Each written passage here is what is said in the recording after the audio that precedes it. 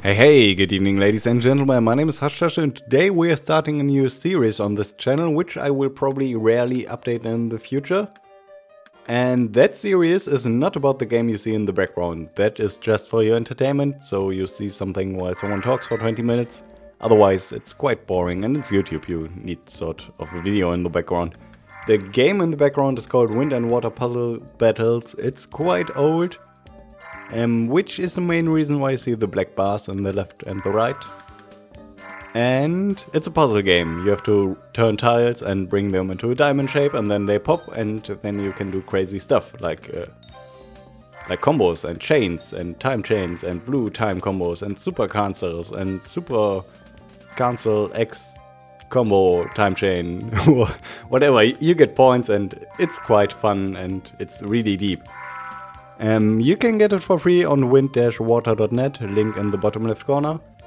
And that's about the game. By the way, a diamond shape is uh, like the shape of the cursor, in case you haven't realized it yet.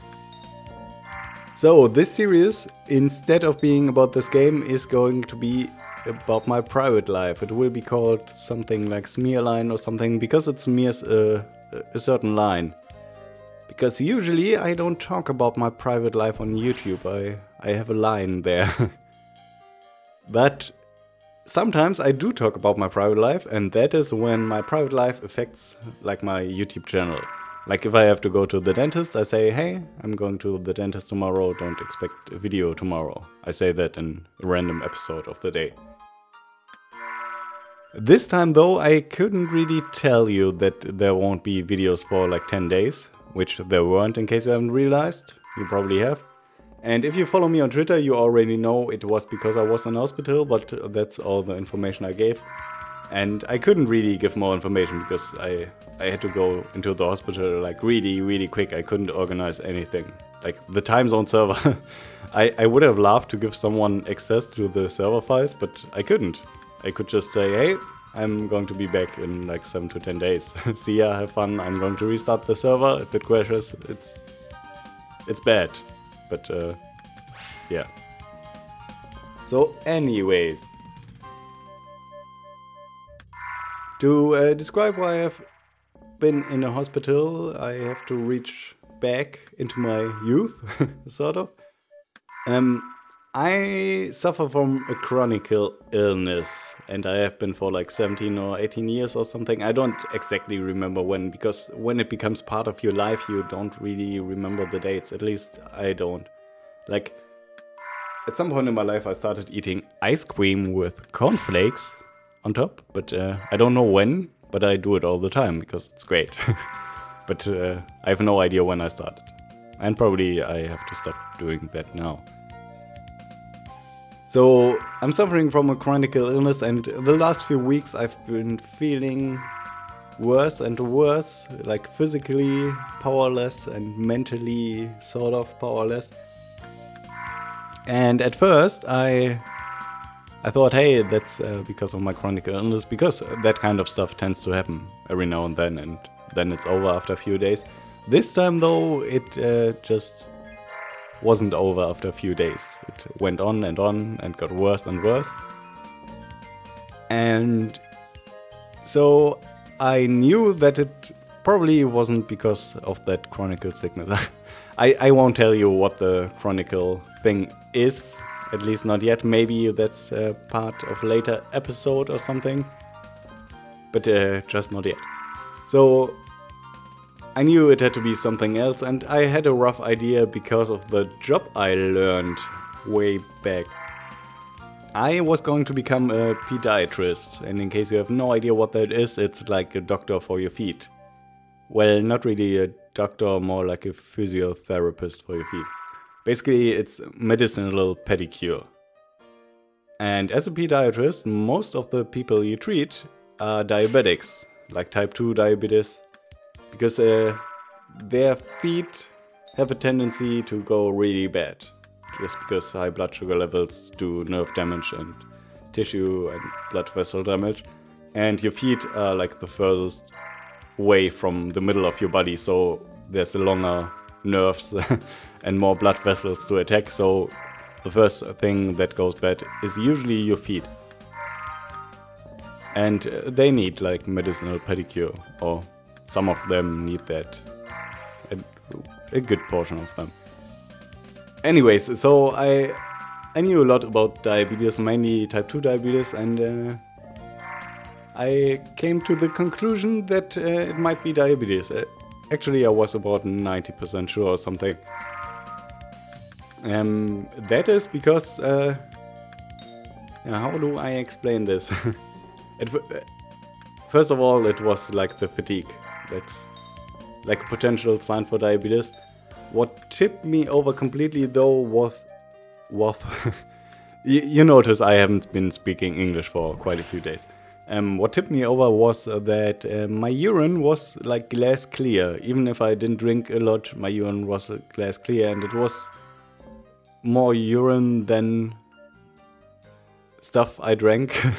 it was a lot and glass clear, and that is kind of a sign that you go above your renal threshold. So you have so much blood sugar in your in your veins that your body tries to get rid of the sugar through your urine. It goes into your kidneys and then into your urine. You need a lot of water for that, and that's why it's clear and you dry out, and that's why you feel, or that's part of why you feel really bad. It's not everything. So I went to a doctor, said I want to do an OGTT, which is an oral glucose tolerance test. And they basically give you like high fructose, not high fructose, high glucose sugar syrup and you drink that and they measure your blood sugar levels when you drink that and one hour later and two hours later and then you can be about 99.99999% certain that you might have diabetes or not depends on the outcome of that my doctor though didn't want to do that because uh, he said well i question your methods because that urine thing, that's not like a diagnosis, that's just like an indicator for that. It doesn't have to be diabetes, obviously. So he questioned that and didn't want to do an OGTT. Instead, he took a urine sample and blood sample, and turns out you could see from the urine and blood sample that I have diabetes. Guaranteed. No question. So the next day, I went to a diabe diabetologist like a doctor for diabetes. And he told me I have diabetes type 1, I have like ketones in my urine and in my blood, and it's pretty bad. And maybe I should consider going into a hospital for the setup phase and the first treatment, which I then did. And I, I went out of his office, and two hours later, I was already in a hospital like 50 kilometers away from the place where I live. So I had to act really, really quick, which is why I couldn't post like a video where I told you what's going on. So uh, yeah, turns out I have diabetes type 1 and that's pretty much why. So in case you wonder why, you can shut off the video now. In case you want like more information on that whole stuff like medicinal talk sort of, um, you might stay in this video. I I don't mind if you turn off now, because uh, it's going to be boring for some people, maybe. So why did I go into hospital? Um, I already told you, but uh, why is diabetes type 1 so dangerous when it when you first develop diabetes type 1?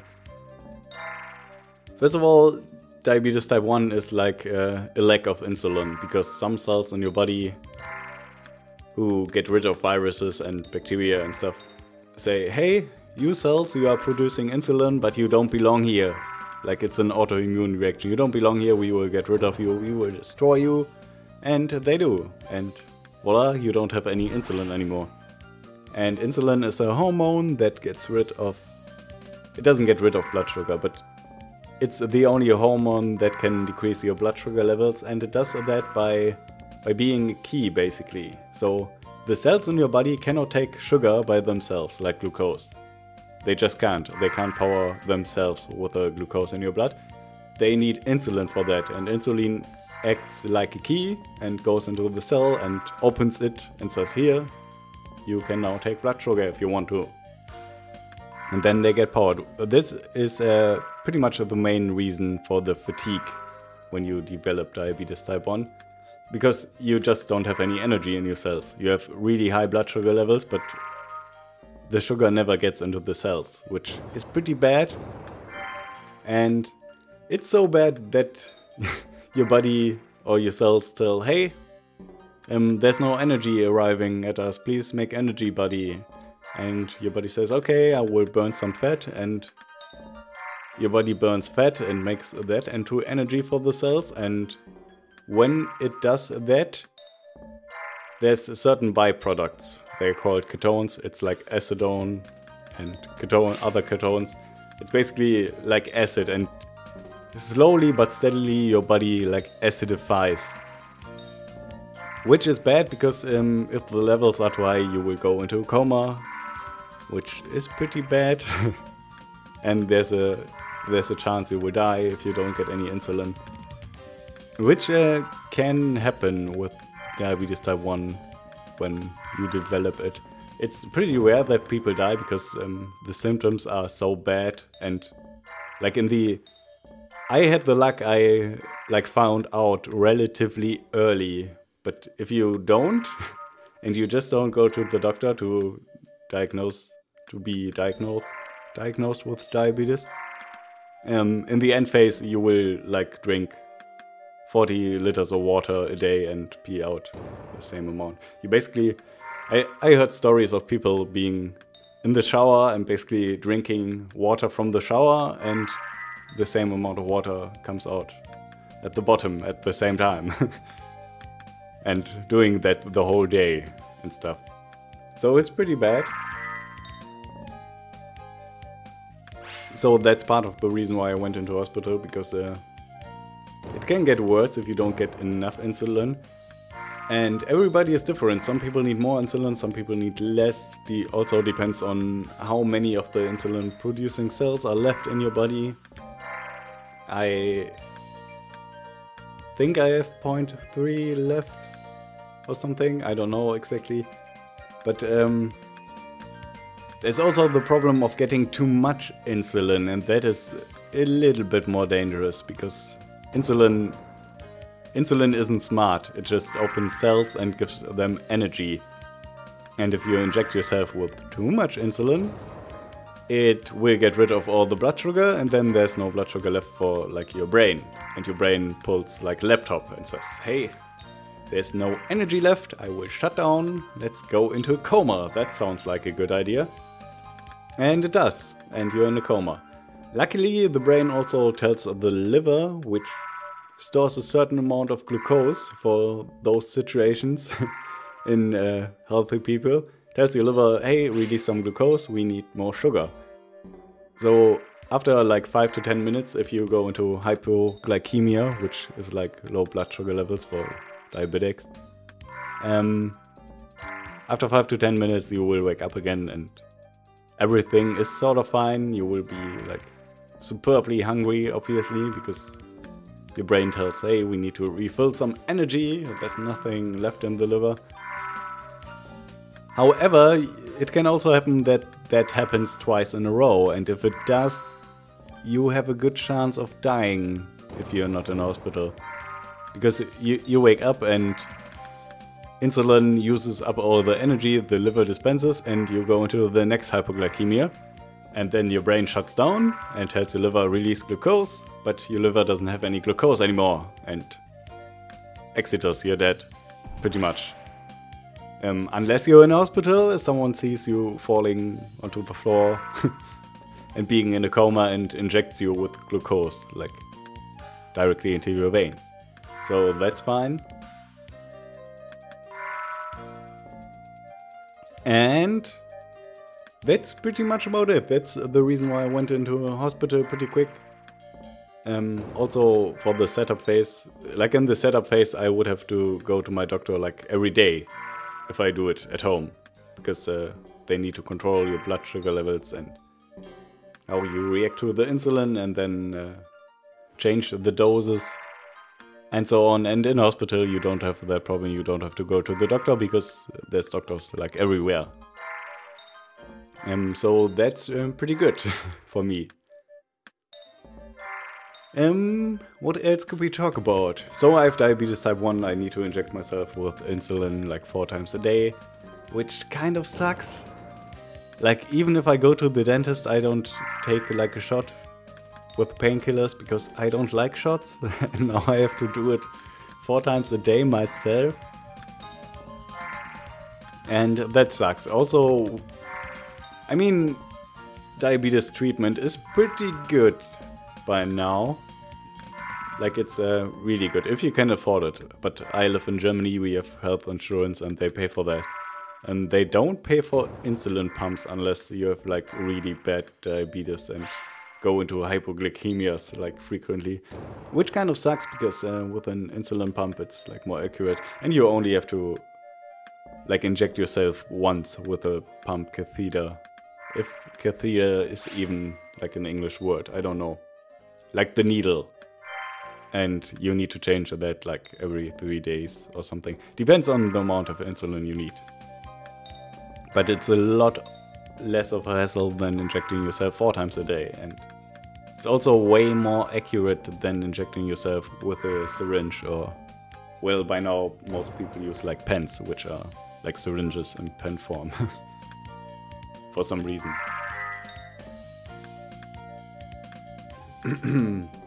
so that sucks pretty badly. Also, technically, I can eat everything I ate before, but the treatment is going to be a lot, lot easier if I if I change my diet like a little bit. Like for example, eating ice with cornflakes is uh, it's pretty hard to inject yourself with the right amount of insulin at the right time when you eat stuff like that. So uh, need to change that or well tune it down. I will still eat it at some point. but not as often as before. Like I love ice cream and I ate so much ice cream. Especially ice cream with the like sugary things like coated frosted cornflakes on top. Um, so that sucks. Also, I used to eat a lot of rice for example, I don't really eat bread. I'm more like the like the Japanese or Asian guy who eats rice for breakfast, but can't do that anymore. Well, I can, but rice is pretty bad because it it's uh, fast. Like the sugar in rice um, makes you well, it's not the sugar. It's uh, how they are called carbohydrates, probably in English. Um, they make your blood sugar levels rise really high, really quick, and then fall down really quick. And it's really hard to inject yourself with insulin, so all of the blood sugar level falls into your insulin injection. Um, it's quite hard. You should eat stuff with more fiber. That's uh, usually good and pretty slow, like the rise phase of the blood sugar level. And high fiber, you get like in in bread, not in white bread, obviously, but in like high fiber bread.